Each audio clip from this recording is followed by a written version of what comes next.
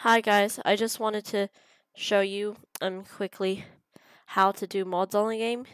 If you're just trying to find out how to play, you don't need to do this.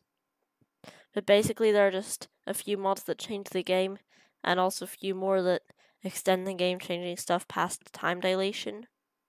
And so to do it, you can't just search up the game and play it. You have to follow this special link which I'll put in the description. Then you go to options, load, then set, and then here you have some settings.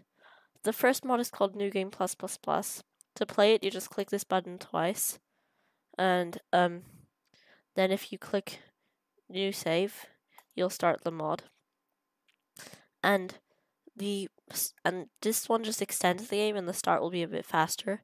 If you don't want this, you can just click this button again before clicking New Save and then it will just be a game where everything past time dilation is changed you can ignore all these um, pop-ups.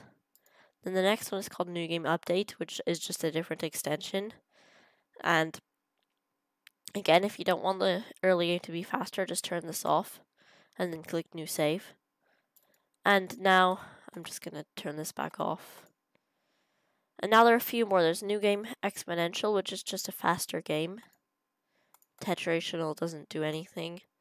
Um, there's new game minus, which is slower. There's new game minus minus, new game minus minus minus, new game minus 4, and new game minus 5.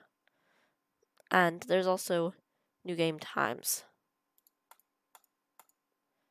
Um, and so I'm just letting you know that you can play these mods if you want to, but you absolutely don't have to.